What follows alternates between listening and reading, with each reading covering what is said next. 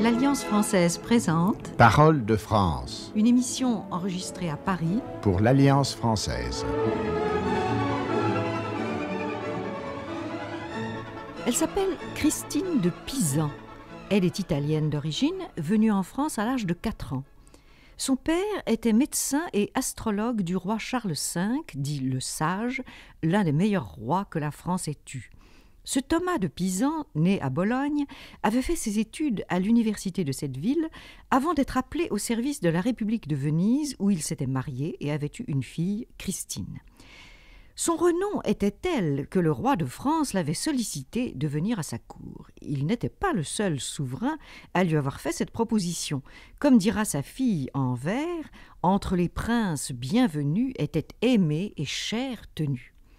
C'est en 1368 que Thomas de Pisan et sa famille se présentent au roi Charles V. La petite Christine devait s'en souvenir plus tard. Grandement fut reçue la femme et les enfants de l'aimé philosophe maître Thomas, mon père, arrivés à Paris, que le bénigne et bon sage roi voulut voir et recevoir joyeusement, laquelle chose fut faite tôt après leur venue, avec leurs habits lombards, riches d'ornements et d'atours, selon l'usage des femmes et enfants de condition. Fille de ce père, fort estimé du souverain, Christine va grandir dans le luxe et le raffinement de la cour, et son éducation se ressentira de l'atmosphère savante qui environne cet astrologue, au sens où on l'entendait alors, c'est-à-dire plus astronome, philosophe, géomètre et mathématicien que faiseur de prédictions. Écoutez Christine célébrer cette science entre toutes respectées. Celui qui, avec persévérance, l'acquiert, elle le fait amoureux des beautés de là-haut, et aussi en persévérant dans la digne étude et en continuant celle-ci, elle l'induit à ce qu'il semble à l'âme, c'est-à-dire à la beauté de forme, et le rend semblable au Créateur qui le fit. Ces sages paroles tombées de la bouche d'une simple femme en plein Moyen Âge, vouée à la domination du conquérant et du chevalier, ont de quoi surprendre. Qui était donc Christine de Pisan.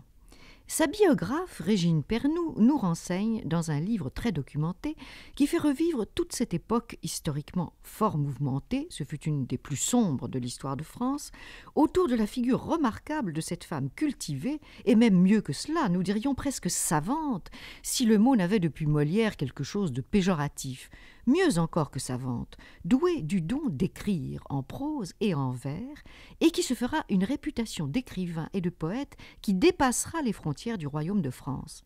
Mais revenons à la jeune fille qui grandit dans l'atmosphère privilégiée d'une cour éclairée. À quinze ans, on la marie avec un gentilhomme picard qui deviendra notaire et secrétaire du roi. Mariage heureux, mais brève félicité, puisque dix ans plus tard, à vingt-cinq ans, Christine, mère de trois enfants, devient veuve et le restera pour la vie, bien déterminée, malgré les charmes qu'on peut lui supposer, à ne jamais convoler à nouveau. Les premiers vers de la jeune femme sont ceux qui fleurissent traditionnellement à l'époque ballades, rondeaux et virelais. Voici un rondeau dédié au souvenir de son mari.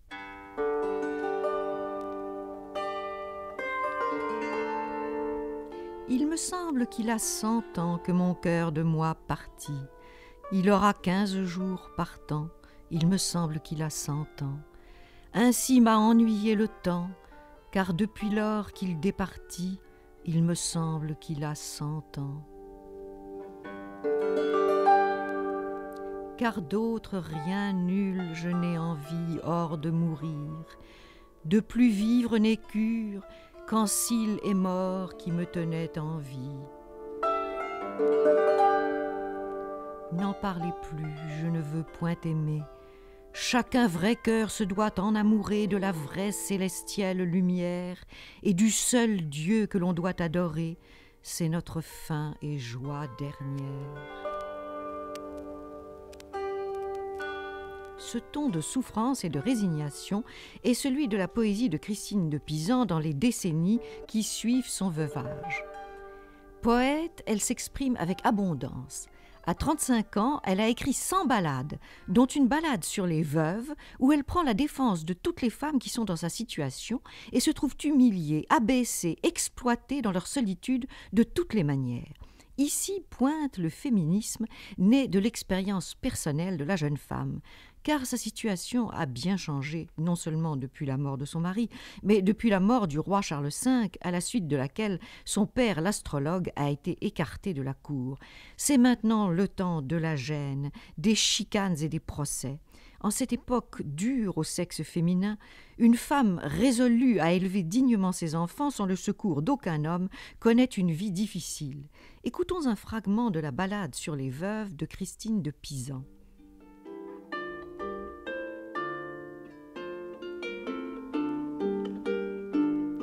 Hélas, où donc trouveront réconfort pauvres veuves de leurs biens dépouillés, puisqu'en France, qui sut être le port de leur salut, et où les exilés pouvaient fuir, et les déconseillés, à ce jour-ci n'y ont plus amitié. Les nobles gens n'en ont nulle pitié, et n'en ont plus l'éclair, ou grands ou moindres secourez-les et croyez mon ditier, car nul ne voit qui vers elles soit tendre, ni les princes ne les daignent entendre. Pour la défense des femmes seules et courageuses, Christine écrit le livre des trois vertus, qui est une sorte de traité d'éducation de la femme. D'abord, suivre en tous les conseils de la prudence, et puis être capable de remplacer l'homme absent ou disparu, c'est-à-dire connaître les coutumes, les usages, savoir notamment établir un budget, élever intelligemment ses enfants en se gardant d'abuser des corrections corporelles et en faisant preuve d'indulgence et de compréhension, enfin savoir se défendre et faire front contre un monde masculin qui n'accorde pas de place aux femmes, où elles n'ont rien à attendre que d'elles-mêmes.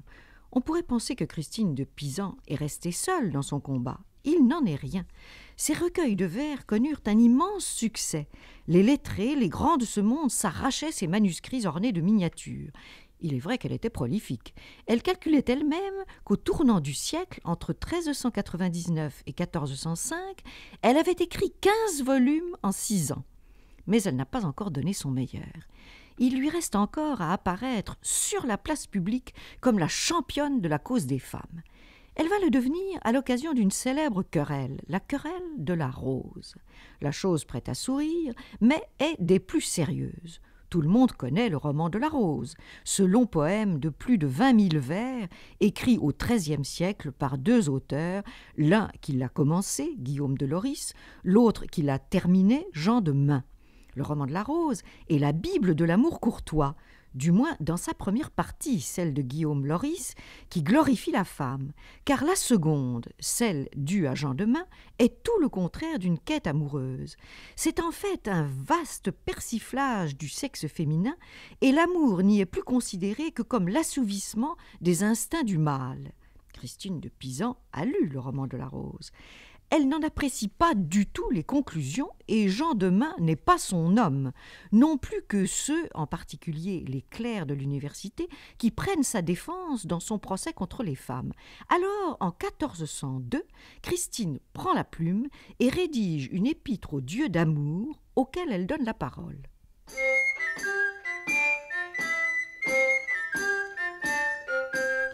Savoir faisons en généralité qu'à notre cour sont venues complaintes par devant nous et moult piteuses plaintes de par toutes dames et demoiselles, gentilles femmes, bourgeoises et pucelles, et toutes femmes généralement, notre secours requérant humblement, si se plaignent les dessus dites dames, des grands extors, des blâmes, des diffames, des trahisons, des outrages très griefs, des faussetés et mains autres griefs, que chacun jour des déloyaux reçoivent, qui les blâment, diffament et déçoivent. En fait, ce que dénonce Christine de Pisan, c'est l'antiféminisme notoire proclamé par les grands corps de l'État et, au premier chef, l'université. Ce qu'elle déplore, c'est la mort de l'amour courtois et de la vraie chevalerie, qui ne se survit plus que sous ses apparences extérieures, trompeuses, fallacieuses, telles par exemple que les ordres de chevalerie. En vérité, c'est toute une société qui est en train de changer profondément, et dont Christine annonce la triste métamorphose. Mais que répondent les tenants de Jean de Main et de l'université à Christine de Pisan? Eh bien, des libelles et des épîtres fort acrimonieuses, auxquelles Christine répond à son tour en volant au secours des femmes accusées de tous les vices. Écoutons-la. Si elle te demande l'argent de ta bourse, écrit-elle, ce n'est pas elle qui te l'enlève ou te le prenne. Ne leur en donne pas si tu ne le veux. Et si tu dis que tu en es entiché, pourquoi t'en entiches-tu? Serait-ce elles qui vont en ton hôtel quérir, prier ou prendre de force?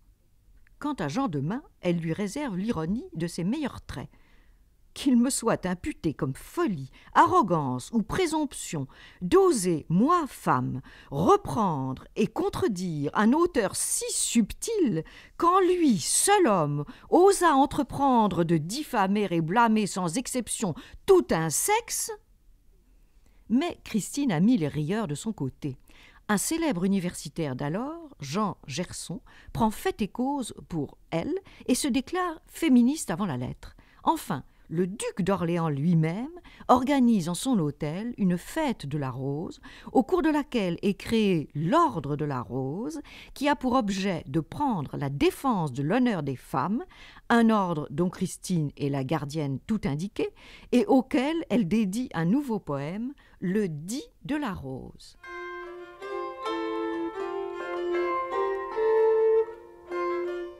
À bon amour je fais vœux et promesses, et à la fleur qui est rose clamée, qu'à toujours la bonne renommée je garderai de dame en toutes choses, ni par moi femme ne sera diffamée, et pour cela prends l'ordre de la rose. En fait, si Christine de Pisan semble triompher, la France, elle, connaît des vicissitudes qui comptent parmi les pires de son histoire. Querelles des Armagnacs et des Bourguignons, meurtres et guet-apens, misère et famine, invasion des Anglais. Le sort des femmes est noyé dans un contexte où l'amour courtois paraît bien effacé. Mais voici le moment que nul n'osait espérer. Voici que paraît la pucelle, cette Jeanne d'Arc, cette gardeuse de moutons qui va bouter les Anglais hors de France et rassembler le pays. Alors notre Christine, vieillie, retirée dans un couvent, reprend une dernière fois la plume pour chanter cette héroïne selon son cœur et qui comble tous ses vœux.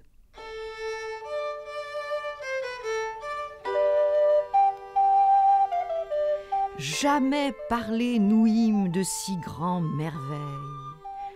L'an 1429 reprit à luire le soleil. Une fillette de seize ans, n'est-ce pas chose hors nature, à qui armes ne sont pesants, et devant elle vont fuyant les ennemis que nul n'y dure. Voici femme, simple bergère, plus preux qu'onque homme fut à Rome, voyez par tout l'univers monde, chose sur toute merveillable. Et Christine de Pisan, la féministe intrépide, ne peut s'empêcher de conclure Hé, quel honneur au féminin sexe que Dieu aime